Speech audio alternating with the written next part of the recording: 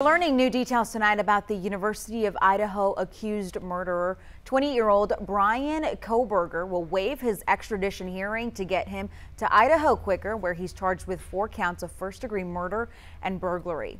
Police believe Kohberger broke into a home with the intention of killing four university students.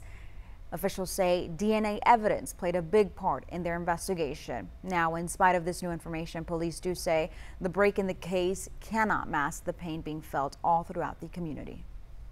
These tragic murders took four young, vibrant lives from our community. Nothing we do can bring them back. The only thing that we can do in law enforcement to honor their memories that we know of is to bring this to a successful conclusion. Kohberger is a doctoral student studying criminal justice at Washington State. That's just nine miles away from Moscow, Idaho, where the four victims were killed.